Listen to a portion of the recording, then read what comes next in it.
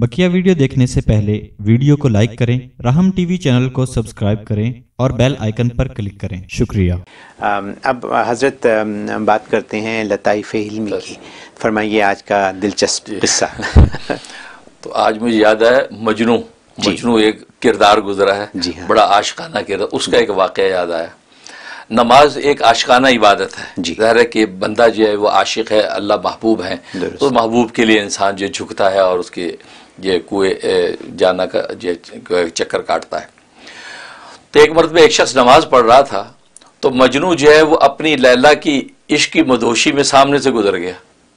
جیسے سامنے سے گزرا تو اس سے سلام پھیرنے کے بعد اس مجنو کو پکڑا کہ مجنو تمہارا دماغ خراب ہے میں نماز پڑھ رہا ہوں اور تو میرے سامنے سے گزر گیا۔ جی۔ تو مجنو نے کہا کہ بھائی میں تو اپنی لیلا کی عشق میں ایسا مدہوش تھا تو مجھے تو پتہ ہی نہیں چلا دائیں بائیں کا اور میں تو یہ دیکھا ہی نہیں کہ تو نماز پڑھ رہا میں تیرے سامنے سے گزر گیا۔ لیکن مجھے افسوس یہ کہ تو اپنے مولا کا عاشق ہے۔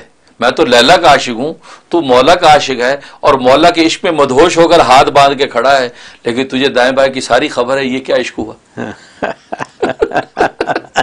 کہا کہ میں ایک مخلوق کے ساتھ عشق میں اتنا غرق ہو گیا ہوں جس سے اس مخلوق کو بنایا خالق اس کے عشق میں تیرا عالم یہ ہے اس لیے تیرا کچا عشق عشق کو پختہ کر تجھے خبر ہی نہیں ہوگی جب ہاتھ باندھ کے کھڑا ہوگا تو کہاں کھڑا ہے دائیں بائیں کیا ہو رہا تجھے پرواہ نہ ہو یہ ہے سچا عشق۔ بالکل بات تو صحیح ہے۔ بات تو صحیح ہے۔ تو کہا کہ سبق دے دیا اس نے۔ جی۔ اور یہ مجنو بھی عجیب چیز تھا نام اس کا قیس ہے۔ جی۔ واقعی جس سے عشق انسان کرتا اسی کا ہو رہے تو پھر اللہ ایسے عشق کو بھی زندہ رکھتے ہیں۔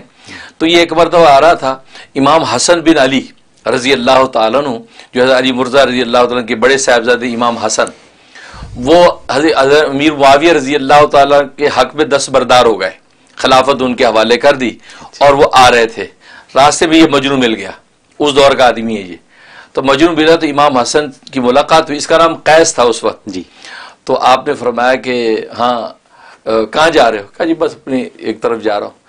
تو امام حسن نے کہا کہ میں جو ہے وہ اپنی خلافت سے دس بردار ہو کر آ رہا ہوں۔ اچھا۔ میں نے امیر معاویہ کو خلافت دے دی اور یہ فرمایا کہ جس کے لیے خلافت سجنی تھی نا اس کو ہی سجتی ہے لہذا میں نے ان کو دے دی۔ یہ خلافت انہی کو سجتی ہے میں نے ان کو دے دی۔ یہ بات کہی تو مجھے سوچ کے کہ کہنے لگا نہیں یہ خلافت اصل میں سجتی تو لیلا کو ہے۔ اچھا۔ یعنی اپنا محبوب دماغ میں نا۔ ہاں، ہاں، ہاں۔ کہتے سجنے کی بات ہے تو سجتی تو پھر لیلا کو ہے یہ کہ امیر معاویہ کو نہیں سجتی۔ تو لیلا کو سجتی ہے۔ جب یہ بات کی تو امام حسن مسکرائے۔ فرمایا کہ انتا مجنون تو تو مجنو ہے۔ اس وقت سے ان کا نام مجنو پڑ گیا۔ اچھا۔ امام حسن نے ان کو مجنو کہا تھا تو ورنہ ان کا نام قیس مشہور تھا۔ جی۔ لیکن جب یہ بات گئی کہ خلافت بادشاہ سجتی تو لیلا کو ہے جی۔ تو مطلب اتنا ہی اپنے اس کے معشوق کے عشق مدوش تھا کہ ہر بات کہتا تھا لیلا کی ہو جائے ہاں، لیلا ہاں، کی ہو جائے۔ ہاں۔ اسی کو کہتے سچا عشق۔ تو مجازی عشق بھی کیا تو سچا کیا تو اللہ نے اس کی عشق کی داستانوں کو آج تک زندہ رکھا ہے۔ اور اس کی عشق کی داستانوں کو دیکھ کر تو لوگ جو ہے اللہ والے مولا کے عشق کی جو راہیں استوار کرتے ہیں۔ درست۔ ایسا کما اس کے اشعار سے وہ مولا کا عشق نکالتے ہیں۔